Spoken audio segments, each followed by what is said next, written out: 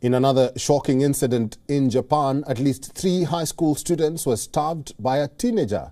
The incident happened right outside Tokyo's university premises ahead of the nationwide college entrance exams. As per the police, the victims included an 18-year-old boy, a 17-year-old girl, and also a 72-year-old man. According to local media, the two teenagers did not sustain life-threatening injuries, but the 72-year-old is severely wounded. The attacker, a student himself, was apprehended by police at the gate of the University of Tokyo after the early morning attack. He was not taking the exams and did not have any relation with the three victims.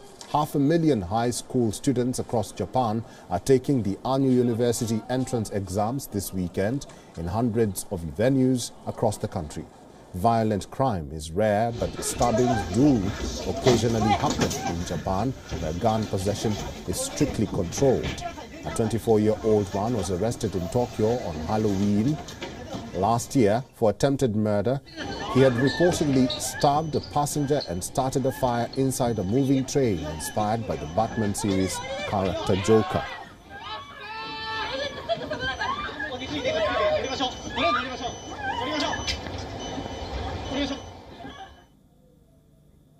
WION is now available in your country. Download the app now and get all the news on the move.